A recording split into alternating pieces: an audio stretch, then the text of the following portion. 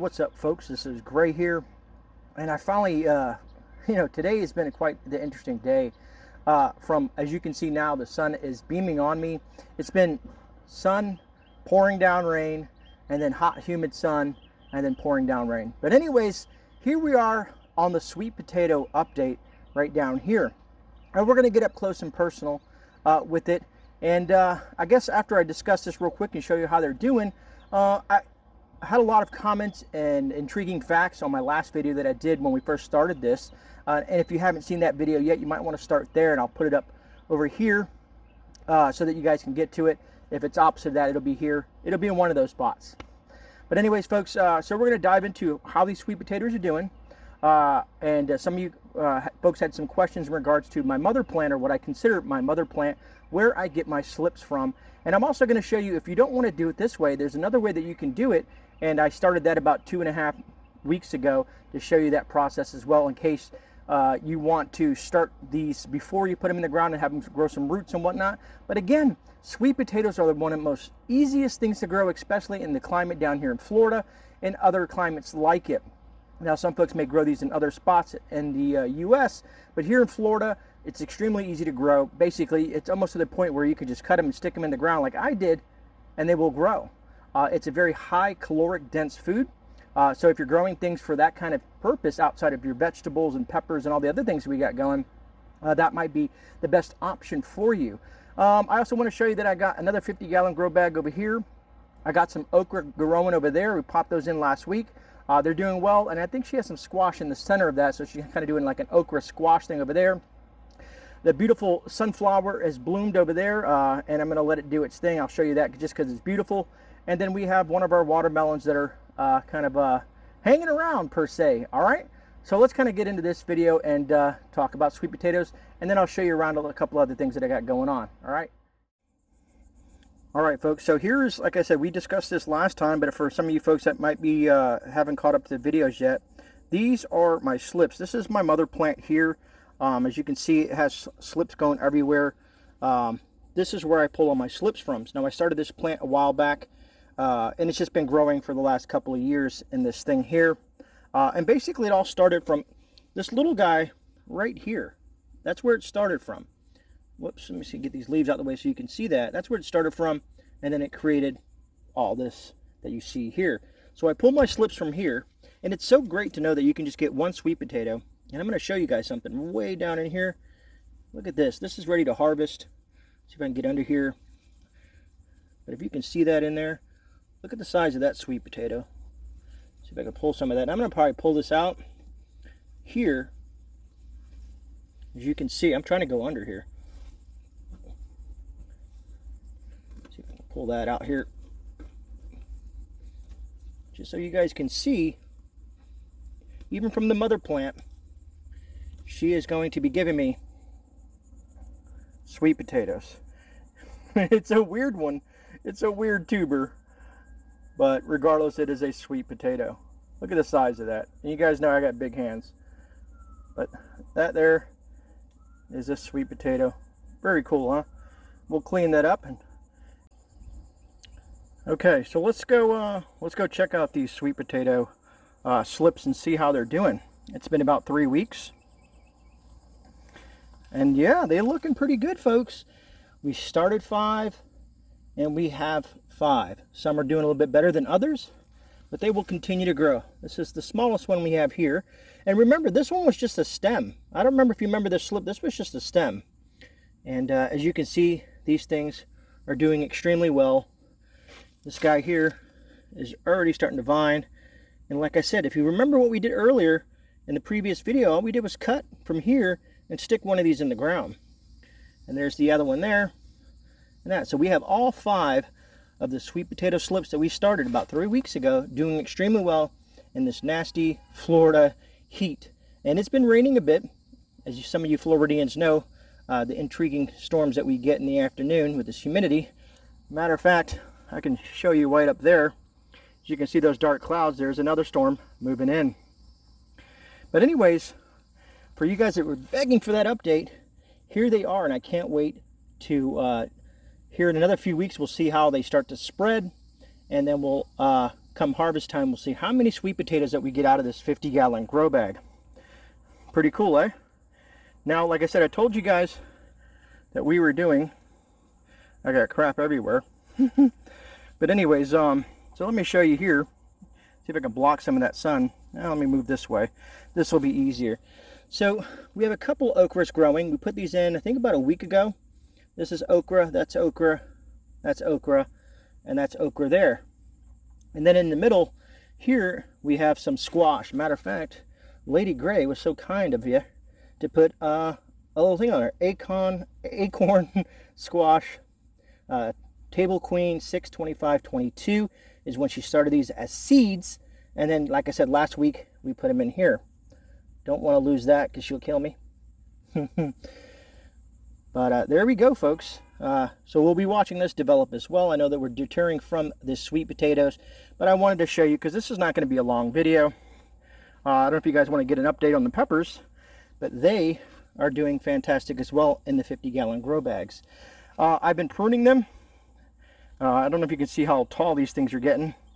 Uh, this one here is probably easily about two and a half feet tall.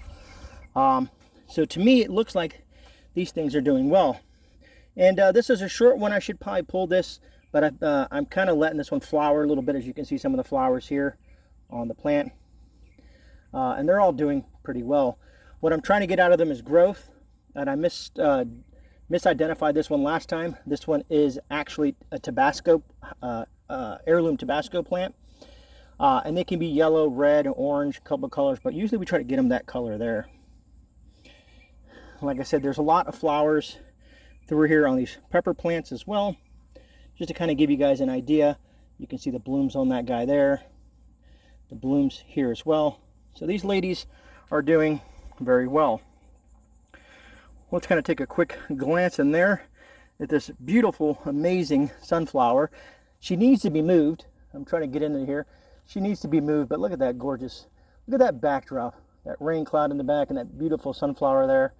God, it's a gorgeous view at least from my perspective. I just love Mother Nature and how she produces. And then look at this guy here hanging out with us. Look at this guy here. Look at this big old guy. Look at that big old watermelon there. And uh, we were supposed to, uh, let me see if I can get a better look at this here. We were supposed to, uh, some of this stuff out the way for you guys. We were supposed to uh, get some, uh, what is it called? The ladies' stockings and put them on there. But she's been doing pretty good. We're watching it there to make sure and like I said, I don't know if you can see the size of that with my hand. And they get about the size of a, uh, a bowling ball, so she still has some time to grow on there as well. But all in all, the garden is doing its thing. And the last thing I want to update, look at that gorgeous lady there, is uh, cut through here a little bit. Oh, we're getting a new bud over here on the eggplants. Matter of fact, where is that? We got some eggplants over there. I don't know if you guys can see there. And there's a couple eggplants. But uh, so the Cherry 100 is almost done. Uh, I'm going to be cutting it all back, just like I did this. This was the uh, black cherry or black something tomato, I can forget now. I cut that one all the way back and I'm going to pull all those weeds out and repurpose the soil. Uh, but they about had to their end of life here. And uh, matter of fact, let me go over here real quick before I end this video. Don't want to go forever on this. Um, but we're trying to stay on top of it, picking them as we go. I'll probably pick some this evening.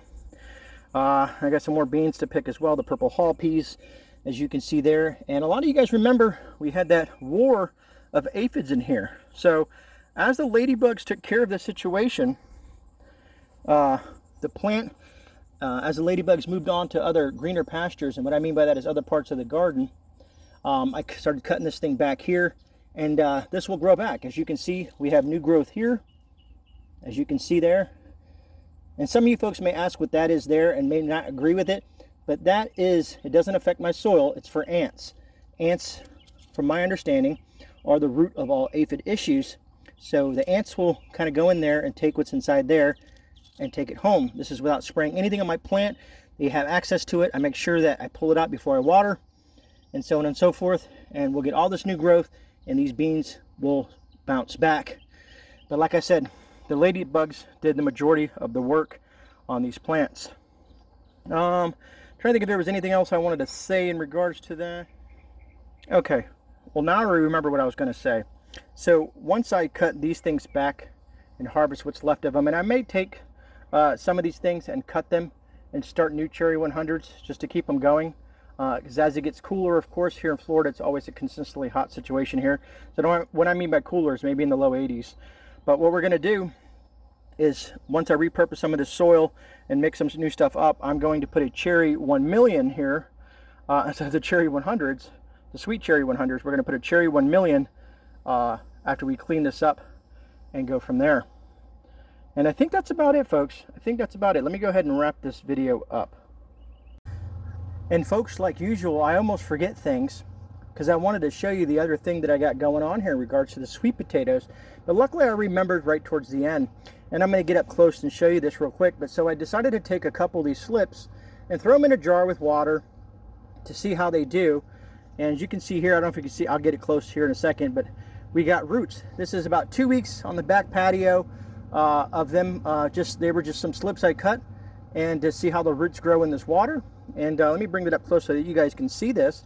Uh, in case that you don't want to do it the way I did in that previous video, you can do it like this as well. Uh, maybe if you want to take a five gallon bucket, you want to take a slip and you want to cut it, you can put it in water first uh, and let it sprout some roots and then put that and transplant it from there. But they do, as you can see, they do just as well in the 50 gallon grow bag. So let me get up close so you guys can see this here. And you can see those roots in there. Get my hands out the way so you guys can see a little bit better. But see all those roots? And that's just in a couple of weeks, folks. Just in a couple of weeks, we got all those roots in a mason jar with some slips. Look at that. Now what we can do is we can transplant these where we want to plant them and go from there. So that kind of gives you a few ideas. Let me set this down here so I don't spill it or make anything of it. But also, what I noticed from my perspective from doing it that way is every couple of days I will change the water on something like that because it'll start to get some discoloration and things like that. I don't know. I just like to keep fresh water in there. So every few days I will change out the water that's in there, uh, and uh, I feel it, the plants do better and happier with that. And like I said, when you do it that way, you want to make sure it's in a warm environment. You don't you want the water to be warm, uh, not hot, but you want it to be warm. Uh, like room temperature is good uh, and have it kind of on, if you're gonna do it inside, you can put it on a, on a windowsill where it gets sun, you know, uh, because sweet potatoes love sun and, uh, and kind of a, you know, warm environment. That's why I kind of put mine outside on the patio here behind me. Uh, and it was what I did so because of shock and stuff like that, you know, just to be kind of careful with things, I put it in a semi-shaded or partially, uh, partial sun uh, most of the time initially, and then I would move them out sometimes during the day when I'm out here in the garden and put them in the full sun for a little while so they can enjoy some full sun during the afternoon. And then as they took hold, uh, then I moved them into different spots. I didn't want to put them in direct sun because the sun will make that water extremely hot, uh, you know, as it reflects through that glass. So again, just be, uh, you know, be cautious in the way you do things and experiment, folks. That's what gardening, all this gardening stuff is, is experimenting, learning, understanding, educating yourself. It is so much fun. It truly is, folks. And uh, like I said, I've learned so much from you, and I hope some of you folks out there are learning from me as well. Other than that, if you got any value out of this, please hit that thumbs up button, and I would like to hear your comments below. Uh, or what are you starting this year? What are you growing new this year uh, that you haven't grown before? Uh, have you ever seen someone do sweet potatoes the way I'm doing sweet potatoes? And are you looking forward to the final harvest on that? And uh, so on and so forth. So I'll look forward to reading your comments. And uh, you guys, please enjoy the rest of your day. I'm assuming this is going to come out tomorrow morning, being that it's so late uh, for me to get this video done uh, with the, the Florida weather patterns. Anyways, be safe out there. Know that you're not alone. This is Grey Man. I'm out. I'll see you guys in a rebound. God bless.